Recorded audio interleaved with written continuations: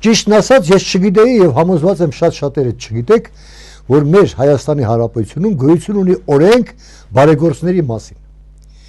Այո, բարձում է բարեգործությունն էլ է սահմանվում օրենքով։ Սակայն մինչև օրենքին անցնելը, եկեք մեզ համար բարձենք, թե ինչ բան է բարեգործությունը,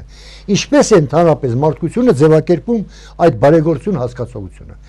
մարդկության մեջ էլ անշուշտ հայերս ենք մտնում եւ ունենք այսպիսի ձևակերպում։ Բարեգործությունը պետության, բարեգործական եւ այլ կազմակերպությունների, եկեղեցի, հիմնադրամներ, միություններ եւ այլն, ինչպես նաեւ անհատների անհատույց կամ զեղչով ցուցաբերվող օգնությունն է կարիքավոր մարդկանց եւ հաստատություններին։ Հնագույն շրջանում ծնունդ առած այս երևույթը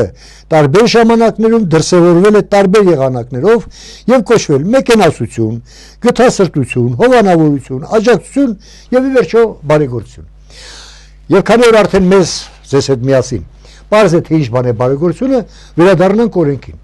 Օրենքը սահմանում է բարեգործության բոլոր տեսակները եւ այլն եւ այլն, բայց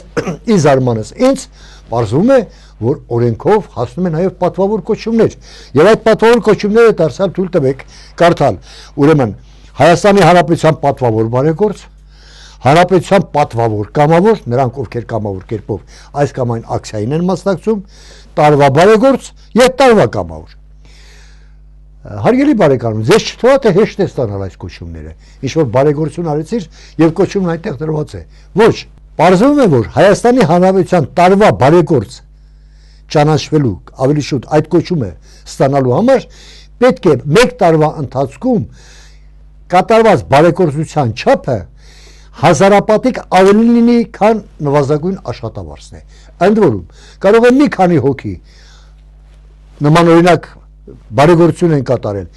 բայց նա կստանա կոչումը, ով բոլորից ավելի շատ ուրեմն բարեգործություն կատարի կկատարի այդ տարվա ընթացքում։ Սա դեռ բոլորը չէ, սա դեռ տարվա բարեգործն է, իսկ ընդհանրապես կոչում ստանալու համար պատվավոր բարեգործ կոչումը ստանալու համար բարձում է որ օրենքը սահմանում է այսպիսի դրույթ. Հայաստանի Հանրապետության պատվավոր բարեգործի կոչմանը կարող են արժանանալ այն բարեգործները ովքեր բարեգործական նպատակների իրականացման համար 5 տարի անընդմեջ ճանաչվել են տարվա բարեգործ։ Կարծես թե հասկանալի է, թե ովքեր կարող են բարեգործ, պատվավոր բարեգործի կոչում ստանալը, բայց ինձ թվում է անհասկանալի մի բան։ Ինչպես է որ միջև հիմա այսպես բարեգործներով լցված մեր աշխարհում ոչ մեկը պատվավոր այդ կոչումը չի ստացել։ Ի վերջո մենք ձեզ հետ վկան ենք այն բանի, որ այսօր հատկապես ընտրությունների ժամանակ մեր բարեգործները շատանում են։ Իհարկե իրավաբանները այդ բարեգործությունը երբեմն իրավացիորեն որակում են որպես ընտրակաշարք, բայց այնուամենայնիվ դատելով այսօրվա բարեգործական այս շնչից, որ թևածում է մեր ազատ անկախ Հայաստանում, պետք է որ կոչումներ ունենայինք։ Ասենք որ բարեգործությունը անշահախնդիր բարեգործությունը դեռևս շատ հին պատմություն ունի։ Մինչև մեր օրերին անցնելը եկեք մի փոքր էքսկուրս կատարենք։ Եվ ինչու է կոչվում մեկենասություն։ Բանն այն է, որ մեր թվականությունից առաջ 74 թվականին գոյություն ունեցել մի շատ հզոր անznավորություն մեկենաս ազգանունով, որը իդեպ եղել է Օգոստոս Օկտավիանոս Կայսեր մերձավորը, ով առաջինն է արվեստներին, գրականությանը ուրեմն անշահախնդիր կերպով մեկենասություն արել, արդեն նրա ազգանունը դարել է հասարակ բար։ Մեր մեր իրականության մեջ հոգևոր կրթական բարեգործական գրկում գործնությամբ աչքի ընկել հատկապես ներսես մեծ կաթողիկոսը 4-րդ դարում բացել է անկելանոցներ, դպրոցներ, հիվանդանոցներ եւ այլն։ Մեր լոռու մարզում, հարգելի բարեկամներ, ըստ երևույթին ամենամեծ բարեգործին պետք է համարենք Աշոտ ողորմած թակավորին 10-րդ դար եւ նրա կնոջը Խոսրովանուշ թակուհուն, ով կառուցեց Սանահին եւ հաղպատ վանքային համալիրները։ Բանն այն է, որ այդ համալիրների կառուցումը հետապնդում էր պաշտպանական նպատակ։ Եվ դա հենց այնպես չէր արվում։ Աշոտ ողորմած թակավորը եւ Խոսրովանուշ թակուհին այդ վանքերը կառուցեցին այդտեղ ամրապնդելու համար վանքապատական գյուղերը կազմակերպելու համար նրանց ուշերը հյուսիսից ներխուժող լեռնականների դեմն առնելու համար եւ պատահական չէ հիմա որ մենք գնում ենք դեպի Ալավերդի, դեպի Հաղպատ սանային, նկատած կլինեք հին մատուրներ բարձուկների վրա եւ այլն, որոնք ծառայել են ոչ միայն պաշտպանության համար, այլև խարույկ վառելով տեղեկացրել են մարդկանց, որ ճշտամին արդեն հարցակում է մեր վրա։ Ես չեմ կարողանում ինձ զսպել եւ չխոսել երկու հզոր, շատ հզոր բարեգործների մասին, խոսքը Սեբաստացի Մուրատի եւ Կայծակ Արաքել Ֆիդայիների մասին է, ովքեր 16-17 թվականներին հրճակեցին հայը մեկ ոսկի կարկախոսը եւ սկսեցին քրդերի հետ բանակցելով առնել գերեվարված հայերին կոտորածից հետո այս ու այնտեղ ծվրված թուրքերի քրդերի տներում արդեն ծառայության մտած հայերին նրանք հավաքում էին եւ այդ հայ հայ բերող քրդին վճարում են հայը մեկ ոսկի հարյուրավոր հայերի երևի թե հազարավոր հայերի նույնիսկ հավաքեցին երզնկայում եւ ուղեկցեցին նրանց արազը անցկացնելու գործում հարգելի բարեկամներ մեզանում առանձնահատուկ կերպով մեր հիշողության մեջ մնում է եւ դեռ շատ կմնա ուրեմն երկրաշարժից հետո այն հզոր հզոր գտասրտությունը, որ մենք զգացինք աշխարհի կողմից։ Սպիտակյան երկրաշարժը փաստորեն դարձավ այն փորձակարը, բարության փորձակարը, որ աշխարհը փորձակրեց ինքն իրեն։ Եվ հատկապես էլի ու էլի ասենք հայերը։ Իսկ ընդհանրապես երկրաշարժից հետո 113 երկրներ օգնություն ցուցաբերեցին Հայաստանին, նրանց հետ նաև 7 միջազգային կազմակերպություններ։ Ես առիթ եմ ունեցել Ամերիկայի Միացյալ Նահանգներում Լոս Անջելեսում ծանոթանալ Կարո Կարամանուկյան ազգանունով մի երիտասարդի հետ, ում մասին շատ պատմում էին, թե բոլորը գրեթե պատմում էին, թե ինչպես Կարամանուկյանը հեզ լսում էր, որ 2-3 հայ ինչ-որ սրճարանում են նստած, անմիջապես գնացել է, խնդրել, որ պետք է փող հավաքել, պետք է աղիթյալներին օգնել եւ բավական մեծ գումար հանգանակելով ուղարկել է Հայաստան։ Գիտեք, թվում է թե մենք այո երախտապարտ ենք թվում է թե դա շատ լավ բան էր շատ շատ լավ բան էր սակայն եկեք նաև ասենք որ այդ օգնությունները բերեցին իրենց հետ նաև բավականին բացասական երևույթներ բանն այն է առաջին բացասական երևույթը որ մենք ձեզ հետ միասին շատ լավ գիտենք այդ օգնությունների թալանն էր բարալքվեցինք մենք աշխարհի արչև որտեղ եկած օգնությունը շատ հաճախ իրենց հասեատերերին չհասավ եւ արդյոք դա չէր պատճառը թե ազնավուրը այդ մեծ հայը եւ թե երկրորդ մեծ հայ Քրքորյանը եւ որ սկսել էին իրենց բարեգործական ծրագրերը երկուսն էլ ինչ որտեղ բարբարով ասած կարծեք թե խարովեցին մեր երկրից իրենց երկրից դա մեզ համար ամենամեծ անպատվաբերությունն էր այդ թալանի պատճառով փաստորեն մենք սևերես եղանք ես կարող եմ այդպես ասել աշխարհի արչիվ Եթե ժամանակին ճիշտ գնահատական տրվեր այդ թալանչիներին, ապա ես համոզված եմ, որ ամեն ինչ կգներ իր տեղը եւ բարեգործները կշարունակեին այս փոքրիկ խղճուկ թալանված Հայաստանին օգնել եւ կունենային շատ ավելի տարածողներ սակայն ինչ մեղք կստացնեմ սատանան չի կարող հրեշտակ ծնել եւ հրեշտակներ չի կարող սատանա ծնել եւ սատանան նորից սատանա ծնեց չարը նորից չար է առաջացնում բնական բնականոն երևույթ է Բարեգործության անվան տակ չարագործություն անելն էլ հին սովորույթ է եւ նորություն չէ։ Շեքսպիրը ունի մի շատ հետաքրքիր գործ Թիմոն Աթենացի, որ ասում են Թիմոնը եղել է Աթենքում ապրող մեծահարուստներից մեկը եւ իրական անձ է, նախատիպը եղել է, ով մեծ բարեգործ է եղել իր ընկերներին, շրջապատին, անընդհատ նվիրել է ամեն ինչ, հրավիրել է խրախճանքի, չի խնայել ոչինչ իր ընկերների համար, շրջապատի համար, բայց երբ որ ինքը արդեն կուտակել է պարտքեր, ոչ մի ընկեր նրան օգնության ձեռք չի մեկնել։ Եվ հա այդ Թիմոնը հեռանալով, խռովելով Աթենքից գնացել է միայնության մեջ եւ դարձել ամենամեծ մարդատյացը։ Նա սկսել է միայն արմատիկով սնվել, մտածելով, որ պետք չի իրեն որևէ մի փոքր անգամ շռալություն, քանի որ շռալությունը իր հետ բերում է բավական մեղսագործություններ։ Եվ հանկարծ մի օր արմատ փնտրելուց նա գտնում է մեծ քանակությամբ գանձ նախ սարսափում է այդ գանձի, չէ՞ որ ինքը արդեն այսպես ասած բարոյական այն զոհն է, որ այդ գանձի պատճառով է վերել։ Իսկ հետո էլ որոշում է շարունակել բարեգործությունը, այս անգամ արդեն մեկ այլ կերպ։ Սկսում է կաշառել բոլոր տեսակի հանցագործներին վարակիչ հիվանդներին, բոլոր բոլորին խնդրելով որ դրա դիմաց նրանք պարտավոր են գնալ մարդասպանություններ կատարել, հիվանդություններ տարածել եւ այլն։ Այսինքն միշտ չէ, որ բարեգործությունը կատարվում է բարի նպատակներով։ Հարգելի բարեկամներ, նայելով մեր իրականությանը, թե այդ օգնությունները, բարեգործությունները ինչ ինչպիսի ճակատագիր ունեցան, ես ակամա հիշում եմ Թիմոն Աթենացուն։ Եվ Թիմոն Աթենացուն եմ հիշում նաև այն ժամանակ, երբ որ սկսվում են ընտրությունները։ Ընտրակաշարք կոչված երևույթը ամենահզոր միջոցն էր բարոյալքելու մեր ժողովրդին դարձնելու նրան մանկուրտ, դարձնելու ողորմություն խնդրող։ Հասկանում եք, այդ ընտրակաշարքը դարձավ այլ ավելի մեծ մեզ համար ցավ, քան այն, որ այդքան օգնությունները յուրացվեցին որոշ թալանչիների կողմից։ Թե պատմությունը եւ թե հայ ժողովրդի պատմությունը բարեգործների մասին շատ հետաքրքիր հիշողություններ ունի։ Աշխարհում հայտնի են հատկապես մեդիչիները Իտալիանում, ովքեր կարողացան վերածննդի դարաշրջանում խրախուսելով հանճարեղ արվեստագետների մարդկությանը ապարգևել մեծագույն գործեր, արվեստի, գրականության մեծագույն գործեր։ Մեզանում անշուշտ հայոց իրականության մեջ, ինչպես նշեցի, Ներսես մեծը, Աշոտ ողորմած թակավորը, Խոսրովանուշ Թակուին, Սահակ Բագրատունի իշխանը, իդեպ, եթե Սահակ Բագրատունի իշխանը չէր հովանավորում Մովսես Խորենացուն, ապա մենք ձեզ հետ միասին եւ ոչ միայն մենք հայերս, այլև աշխարհը չէր ունենա այնպիսի մի վկայություն, այնպիսի հզոր մի քերթող քերթություն, ինչպիսին Մովսես Խորենացու հայ ժողովրդի պատմությունն է մեր մոտակա ժամանակաշրջանում անշուշտ մենք բոլորս նրանց գիտենք ազգանուններով գիտենք Արամյանցը, Լազարյանցը, Մանթաշովը,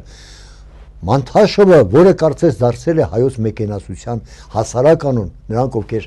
անշահախնդիր փորձում են մարդկանց բարեգործություն կատարել։ Գիտեք, շատ քչերը գիտեն, որ Մանթաշովը հովանավորել նաև Ստեփան Շահումյանին, շատ լավ իմանալով նրա մարքսիստական հայացները, ընդհանուր ցանկացել է իր կրսեր աղջկանը կնության տալ Ստեփան Շահումյանին եւ հարստությունը թողնել նրան, բայց Ստեփան Շահումյանը բոլշևիկյան սեր է ունեցել Ստեփան Ավանցի մեկ այլ օրիորդի նկատմամբ եւ հրաժարվել է Մանթաշովին իրեն աներհայր ընդունելու։ Սակայն շարունակենք, շարունակենք բարեգործության մասին խոսելը։ Մեր օրերում Քրքորյան, Ազնավուր եւ իհարկե եկեք անկես խոստովանենք մեր նախկին առաջին տիկինը Բելա Քոչարյանը, ով ոսկրածուցի տրանսպլանտացիայի դոնորների համահայկական ռեեստրի պատվավոր նախագահն է եւ տասնյակ ու տասնյակ մանուկներ են փրկվում նրա շնորհիվ։ Նաև Աժմյանն էր առաջին տիկինը Ռիտա Սարգսյանը նվիրիր կյանք օնկոլոգիական եւ հեմատոլոգիական հիվանդություններով տարապող երեխաների համար կատարած իր մեծագործություններով։ Իսկ մեր մարզում մեր մարզում էլի որ մոտ ժամանակներից գանք չեն կարող շիշատակել ծնունդով Ջալալօղլեցի եւ այնտեղ բնակվող Միքայել Խանաղյանին, որ 10 տարի շարունակ հովանավորում էր Ղարախտիսայի դպրոցը։ Կան պետք է թերթել արխիվը եւ նման մարդկանց իստում է պետք է ժողովուրդը ճանաչի։ Ղարախտիսեցի Աբովյանները շատ լավ գիտենք մենք, Թայրյանները, մեր օրերում արդեն ինտերկապը, որը Նորա Զուլոյանի ղեկավարությամբ բազմատիվ մարդասիրական բեռներ տեղափոխեց, Արմեն Մխոյանը մեր քաղաքից նկատի ունեմ Վանաձորցի, ով հատկապես եկեղեցու նկատմամբ բարեգործություն էր անում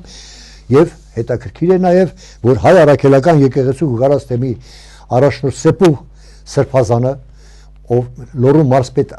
Արթուր Նալբանդյանի հետ ձեր մեկնի եղբոր նախաձեռնությունը բավականին աշխուժացրեց իր նարեկացի հետասարտան միության 100 կամավորներով եւ հարյուրավոր օգնություններ բաժանեցին։ Չեմ ཐակցնում բավականին գործենանում այդ ուղությամբ նաև հայ ավետարանական եւ ավետարանական հավատքի եկեղեցիները, այլ կրոնական կազմակերպություններ։ Ես ինչու եմ ասում այլ կրոնական կազմակերպություններ, որովհետեւ չէի ցանկանա մեր զրույցում կոնկրետ անուններ տալ, որոնք ունեն շահադիտական նկատառումներ։ Այդպես էլ դուք հիմա կարող եք ասել, այ կան նաև այլ բարեգործներ հանրապետությունում ճանաչած եւ այլն ես չեմ ուզում նրանց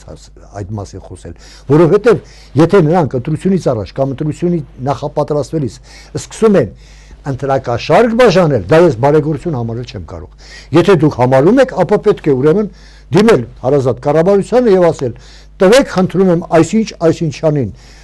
տարվա բարեգործ կոչում որովհետեւ նա այսքան հազար դրամ է բաժանել որպեսզի իրեն ձայն տան Այդպես է ստացվում կարծեք թե հարգելի բարեկամներ։ Եվ վերջապես ես կուզենայի ձեզ հետ հարգելի լորեսիներ խոսել այսօրվա հանրապետության լավագույն բարեգործներից մեկի մասին, ավելի շուտ նա մեկը չէ, դա մի ամբողջ տողմ է, խոսքը Կարապետյանների ընտանիքի մասին է։ Ես մի զարմանում եմ, թե ինչ հոգի եւ ինչ դասիրակություն պետք է ունենա մարդ, որը կարողանա այդքան անշահախնդիր օգնել հայրենիքին։ Ոչ միայն անհատների, այլև այո, հայրենիքին։ Մի կողմ թողնենք այն, որ երբեմն մենք իմանում ենք, թե Կարապետյաններն ինչ են արել, բայց եկեք անկեղծ լինենք նաև կան այնպիսի բարեգործություններ նրանց կողմից, որոնք պարզապես բարձրացան դեռ ասելու իրավունքը չունենք, որոնք հետապնդում են մեր հայրենիքի հզորացման նպատակը։ Եթե ուզենանք թվարկելու լինենք, թե Կարապետյանների տողմը ինչքան է արել իր ժողովրդի համար, ապա ստիպված կլինենք ոչ թե փորձենք հիշելով, որովհետև դրանք շատ-շատ են, այլ գոնե ընթերցեմ մի քանիսը ձեզ համար։ 14 թվականին Կարապետյանները իրենց տաշիր բարեկորցական հիմնադրամով չձանձրանաք եւ չզարմանաք, որովհետեւ սա մի մեծ թիվ է, ես ընդամենը շատ քիչ կընթերցեմ ձեզ համար։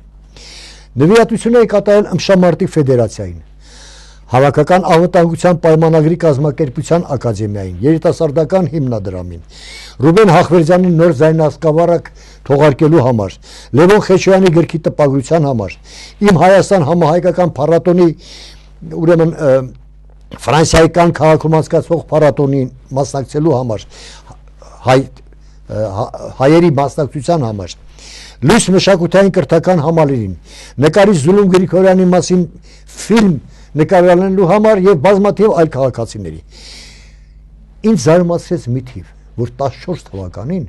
կանոնադրական նպատակների իրականացման համար Տաշիր հիմնադրամը բարեգործական փաստորեն նպատակների է ուղղել 3.5 միլիարդ դրամ։ Դա փոքր թիվ չէ։ Եվ ուրախացնում է, որ հատկապես դա գնում է դեպի արվեստի գրականության առողջապահության նպատակներով։ Նաև իջու չէ, նաև անհատ քաղաքացիներ, որոնք իրապես ունեն դրա կարիքը։ Անցած տարվանից արդեն Տաշիր հիմնադրամը սկսել է կառուցել միանգամից 5 մանկապարտեզ, որոնցից երկուսը այս տարի շահագործման կհանձնվի։ Ստեփանավան, Տաշիր, Ալավերդի, Սպիտակ, Իջևան քաղաքներում։ Արդեն 8 տարի է, որ Հայաստանի մանկատների ավարտական դասարանի աշակերտները յուրաքանչյուրը Տաշիր հիմնադրամի կողմից ստանում է 300 հազարական դրամ։ Ուղղակի փոխանցվում է նրանց անվամբ։ Վերջապես տարիներ շարունակ ուսումնական տարեվերջին եկեք հիշենք, որ նվերներ են ստանում առաջին դասարանցիները։ Վերջերս նրանք Կարապետյանները հովանավորեցին ամենախելացին հերոստատեսային ծրագիրը, որ մեր խելացի երեխաները սկսեցին միմյանց հետ մրցել եւ դա դարձավ մի տեսակ նոր մշակութային արժեք մեր իրականության մեջ։ Հարգելի բարեկամներ, վերջապես Տաշիր հիմնադրամը օգնության ձեռք է մեկնում Արցախում, Ջավախքում ապրող հայրենակիցներին եւ ինչպես գիտեք, Թևանաձորում իր նմանը չունեցող ծննդատան նոր կառույցն է հովանավորում եւ թե նաեւ Ստեփանավանում նրանց հարապետական հիվանդանոցի կառուցումը։ Բոլորին վերջերս մի քանի օր առաջ ես մամուլից ցանոթացա հետաքրքիր մի բան, որ առաջիկա օրերին Տաշիր բարեգործական հիմնադրամի կողմից 100-ից 120 տոննա, եւ իհարկե վերջնական թվերը դերևս կճշտվեն, սնդամթերք կստանան Տաշիրի, Ստեփանավանի եւ Թումանյանի տարածաշրջանների կարիքավոր բնակչությունը տարածքների բոլոր մանկապարտեզները, ինչպես նաև գյուղական բնակավայրերի բոլոր բնակիչները, իսկ քաղաքային բնակավայրերում ընտանիքների անապահովության գնահատման համակարգում ընդգրկվածները, մասնավորաբար Ստեփանավան քաղաքում 9300, Տաշիրում 7500 անց։ Հիմա ես ուզում եմ համեմատական տանել։ Մի կողմից Տաշիր հիմնադրամ, Աբովյաններ, Արմեն Մխոյան, հայ առաքելական եկեղեցի, մյուս կողմից մարդիկ, որոնց անունները չեմ ուզում տալ, ոչ թե նրա համար որ վախենում եմ, այլ պարզապես պետք չի եթերը մխտրել, ներեցեք այդ արտահայտության համար, նմանօրինակ մարդկանց անուններով, ովքեր ամբողջ մի հանրապետության մարդկանց դնում են ողորմություն խնդրողի դեր եւ կաշառում են։ Ցավն այն է, որ մենք հենց այս այդ միասին հարգելի բարեկամներ կաշառում ենք եւ հաճախ ասում ենք բողոքել այսիշ դեպուտատից, այնիշ պաշտոնավորից։ Եղբայր, նրանք մեր ձայնը, որ արդեն նախապես առել են, արդյոք մենք ունենք, ունենք բողոքելու իրավունքը, թե չունենք։ Եկեք այդ մասին մտածեք։ Մյուս կողմից, Եթե օրենք գոյություն ունի, որ կաշառք վերցնողը եւ կաշառք տվողը պետք է դատի տրվեն, այդ ինչպես է պատահում, որ նույնիսկ ընտրակաշառք տվողներին ցուցադրելով որոշ գիտեք զանգացային լրատվամիջոցը ցույց են տալիս անդիմադիրները ցույց են տալի որ ահա այսինչ մարդ ընտրակաշառք է տվել ոչ նա է պատժում ոչ նա Բարս ասեմ թե ինչու ինչու չեն պատժում որովհետև եթե պատժելու լինենք նրանց բոլորին ովքեր կաշառք են բրսել հարյուրավոր քաղաքացիներ ուրեմն կպատժվեն բայց եթե այդ քաղաքացիներին մեղադրելով հանդերձ կուզենայի պարզապես ասել մի կաշառք եք հարգելի բարեկամներ այսպես մեր գործն առաջ չի գնա միջև երբ պետք է մենք ձեզ հետ միասին կաշառվելով անընդհատ բողոքենք մեր ապրուստից անընդհատ բողոքենք մեր երկրից ի վերջո մենք կարող ենք չէ իրար հետ միմյանց հետ ավելի ճիշտ ընտրություն կատարել Սակայն դարձյալ վերադառնանք բարեգործներին։ Մեծ ֆիզիկոս Նիլս Բորն ասում էր, որ երբ երեխան խաղալիք է գցում գետնին եւ այդ խաղալիքը զրնգոցով ընկնում է ցած, շատերը չգիտեն, որ այդ զրնգոցի ձայնը դարեր ու դարեր շարունակ անմար կերպով շարունակ ճանապարհորդում են տիեզերքում։ Այսինքն տիեզերքում ոչինչ չի վերանում, ոչ լույսը, ոչ ձայնը, ոչ մի բան։ Բարեգործների մասին մեր ժողովուրդը եւ օրհնանք ունի եւ անեծք։